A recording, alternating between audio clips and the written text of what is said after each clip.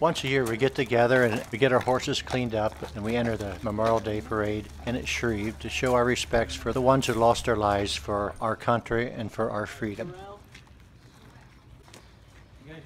We try to make our horses just as slick and shiny as we can possibly make them. This is Doc here, and what's interesting to me is once we bring him into town, they seem to sense what's going to happen. They know they'll be going down the parade route with their best clothes on and their heads held high, and they'll be performing for them. To get ready for the parade, we probably spend two or three days before the parade, uh, getting them trimmed and washed and the harness cleaned.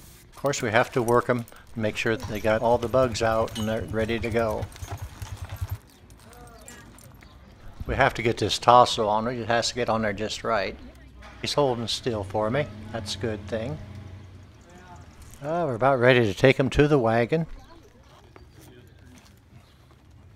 Okay, I think they're all set to go, so we're going to take him over to the wagon and get him hitched. That's my son here helping. He and I have the same hairstyle, and we both have that boyish physique.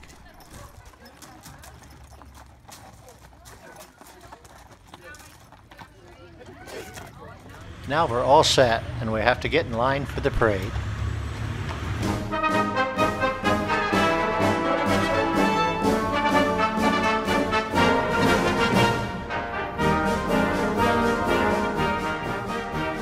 Here comes the Triway Titan Marching Band. We're so happy they decided to come each year and perform for us. The flute player with the sunglasses is actually my granddaughter, Hannah.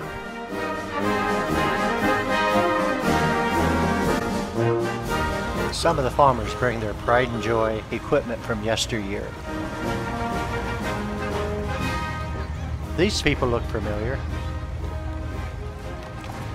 I think it must be Farmer Bob with his girls.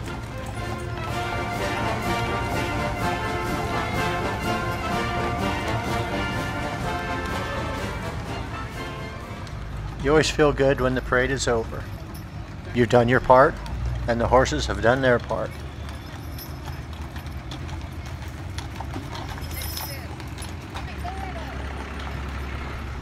Now it's time to put everything away, and then it's also time for a family picnic.